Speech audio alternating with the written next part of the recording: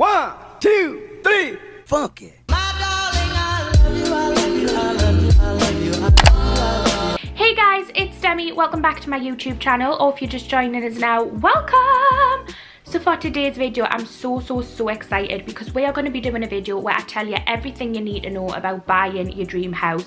Because if you don't know or if you're new to my channel, I bought my dream house last year with my partner Sean and it was just a really, really mad experience and there's so much that I want to share with you guys because I know that I wouldn't be in the position that I'm in if it wasn't for you guys. So I really want to give back to yous and tell yous the tips, the tricks, everything. I'm going to be revealing everything in this video. I'm also going to be telling you how much we we paid for the house and everything like that. So if you are interested in buying a property or if it's something you know you're going to be interested in in the near future then this is the video for you. It is. It's the video for you. I'm so so so excited though because this video is actually in collaboration with rightmove. Rightmove is the uk's number one property search website and platform. It helps so many people each year find their dream home and it was definitely a big part of our process in buying our house. So when they said that they wanted to work with us this video i done a little bit of a dance not gonna lie because i was so excited because honestly the amount of hours i spent on rightmove looking for properties looking at sold properties to find out like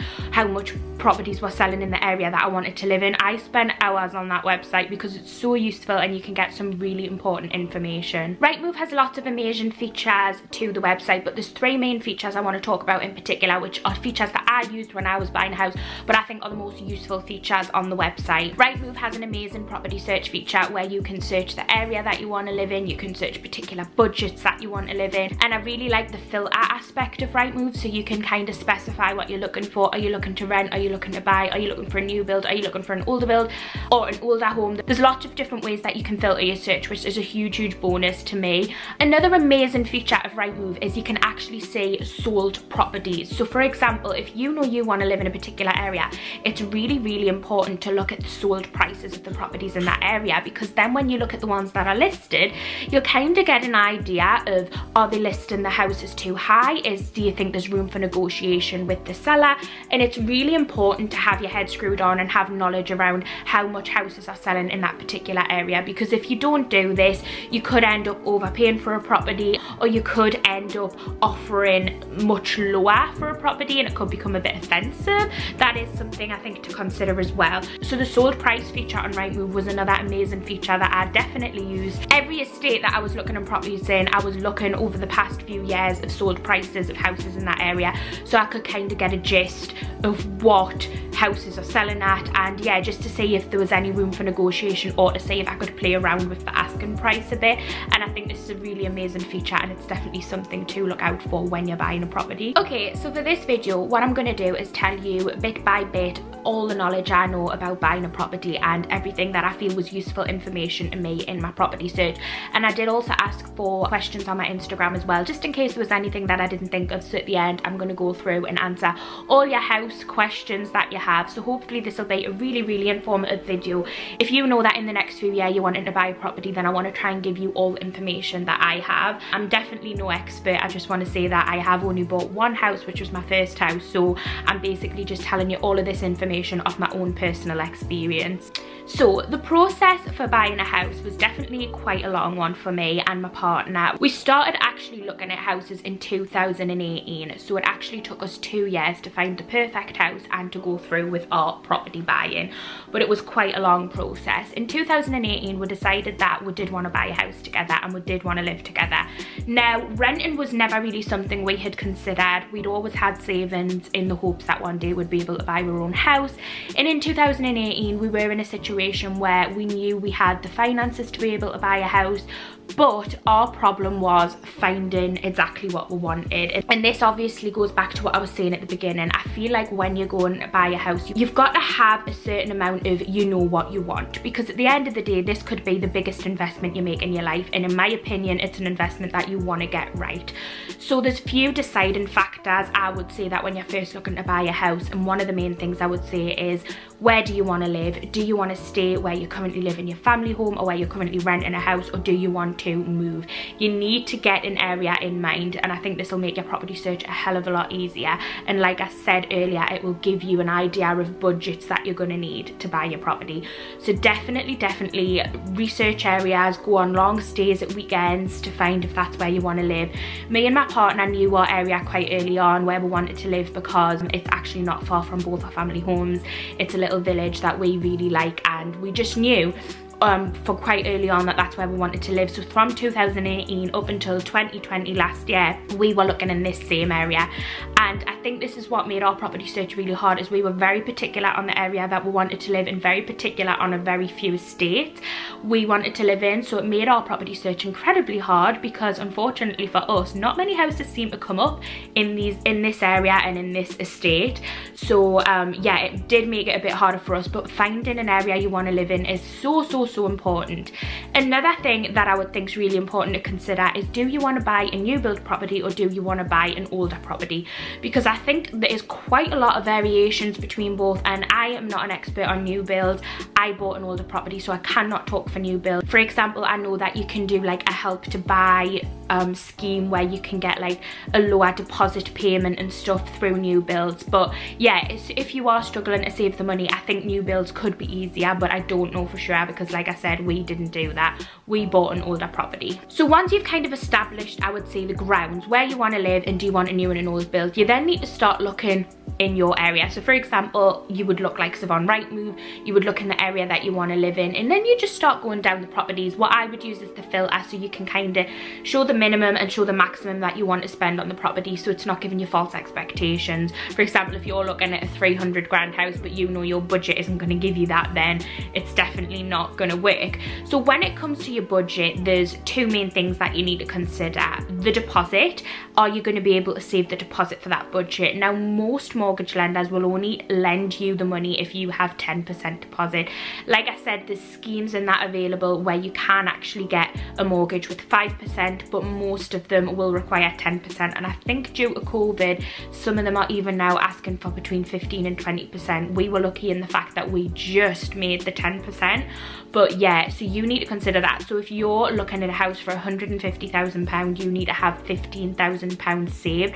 But actually you need to have a little bit more than that saved as well because there is extra costs that you'll need to be paid so bear that in mind don't just think you've got the 15 grand you're all good to go because you're not you have your solicitor fees your legal fees your surveyor fees there's a lot um well not a lot but there is money on top of that that you will need to pay. So have that bear in mind. Another thing you need to consider when you're looking at your budget and what price you're going to be looking at for houses is you need to consider what you're actually going to be lent on a mortgage. Now there's mortgage calculators online where you can use and it'll give you a rough idea of what a um, bank would lend you. So for example, I think it's usually your yearly salary times by three, think, um, because there's no point in looking at a 200 grand house if you're only going to be able to lend 100 grand unless you've got the extra saved. So I would definitely say that there are a few of the key things that you need to be looking at. You need to know your budget, you need to know your area, and you need to know if you would like a new or an old build. I mean, this might be something you decide a little bit further down in the process. You might view both new and old builds in your area and just see what kind of appeals to you most. But for me, they were the things that we had decided before we started our property search because we just felt they were the most important things. Like I said, budgets can vary from area to area. Your expectations of what you're going to get for your budget, like if in London, are going to be very different to your expectations of what you can get for your budget in the northeast. So you need to look at your area, you need to look at sold prices of houses in that area just so you can get an idea of what you're going to be looking for and what you're going to be able to afford. Because property searching can be a really, really hard and sometimes upsetting experiences with being outbid and with not getting the property you want and having your heart set on properties that you don't end up getting. So you want to kind of just be fully aware of what you are able to get and have realistic expectations because you don't want to set yourself up for disappointment because it's already a really overwhelming experience to begin with anyway. So when it comes to budgeting for a house and when it comes to other costs, so like I said before, the main cost you need to have saved is your deposit. This is usually 10% of your mortgage. So if you're buying a house for £150,000, usually you would need to save £15,000 um, unless you are doing some sort of scheme or something like that. There is other costs involved in buying a house though, so I'm going to tell you the costs we occurred and the amounts and then that'll give you an idea. But like I said, I've only ever bought the one house, so The first thing that can also be another big cost is stamp duty. But if you're a first time buyer, you don't have to pay stamp duty. So we didn't have to pay stamp duty.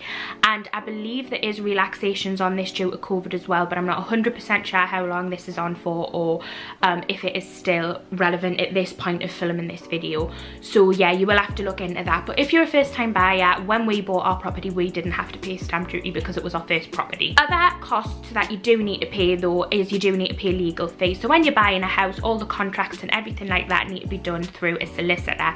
So you need to pay legal fees. Our legal fees were £1,200. So that is another cost that you need to save for. And then on top of that, sometimes when you're buying a mortgage, your lender will offer you a better mortgage rate if you pay an upfront cost. We decided to do this with our mortgage because we actually got a really good mortgage rate if we did this. So we had to pay £1,000 upfront to our bank to get a better mortgage rate, which is another cost that we paid. So yeah, be wary of that.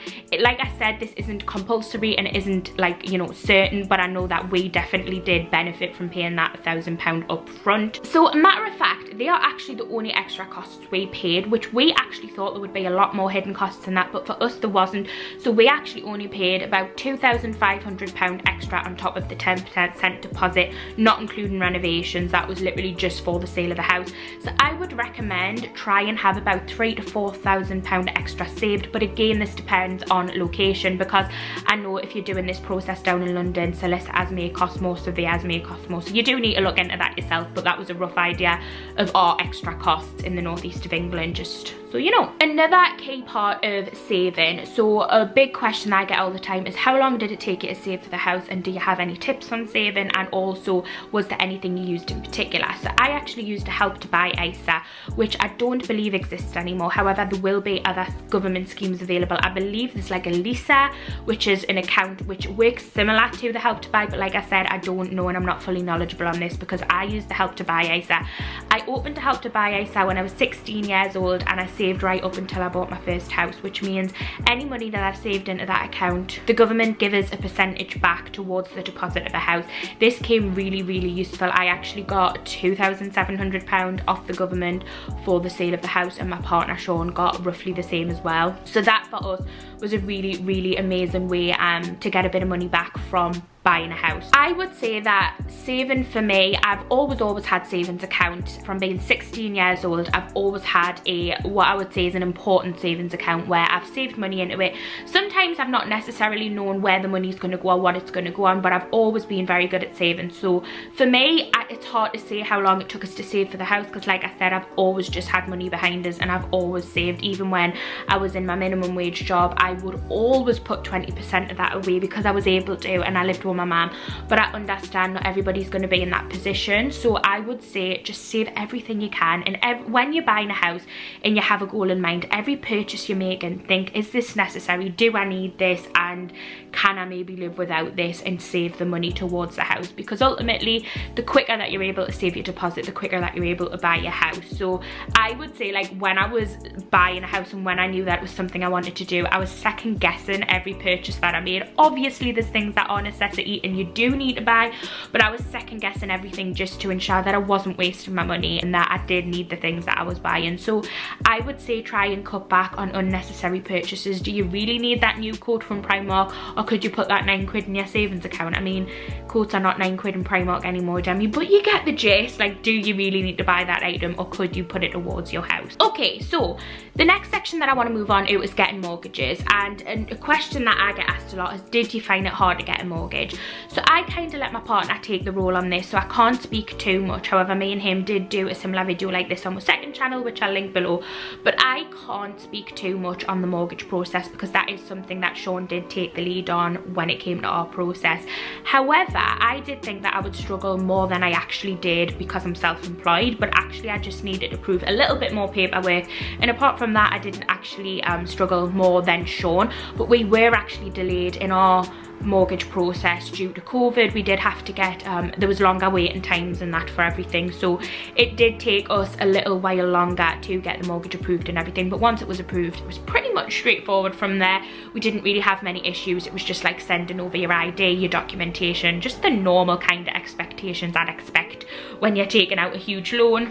One thing I will say though is when you are viewing for houses and when you're viewing your properties, one thing that a lot of estate agents will request is that you have a decision in principle. Now this is basically where you spoke to the bank and um, the bank's gone through your financial situation with you and given you a rough estimated amount on that what they would lend you if you want to go with them as a mortgage provider. A lot of estate agents do want to say this before you view properties because it shows them that you're not messing around and you do actually have the um, funds available to buy the house if you view them because I know there's a lot of people who view houses just a time waste and it's not nice for the seller or the estate agent. So you may be asked to provide a decision in principle and if you are this it's at this point that you would have to ring up a mortgage provider. And ours was on the telephone um due to COVID and stuff. I think sometimes they usually face-to-face -face meetings but ours wasn't. So yeah you will have to get a decision in principle as well at some stage usually before you start viewing houses but I think some people will let you view houses and then if you get an offer accepted that at that stage you would have to provide the decision in principle. So it does depend but